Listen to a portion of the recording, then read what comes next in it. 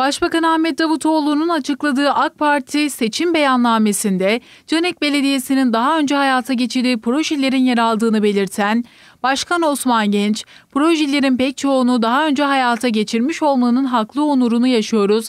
Zaten bu nedenle Sayın Cumhurbaşkanımızdan Başbakanlığı döneminde 3 yıl üst üste ödül aldık dedi. Seçim beyannamesinde açıklanan projelerin toplumu tüm kesimine hitap eden gerçekçi projeler olduğunu ifade eden Genç, Sayın Başbakanımızın açıkladığı projeler arasında Canek Belediyesi olarak hayata geçirdiğimiz yatırımların bulunması doğru şeyler yaptığımızın göstergesidir. Ayrıca proje projelerimizin seçim beyannamesinde yer alması hükümetimizle aynı vizyona sahip olduğumuzu göstermektedir diye konuştu.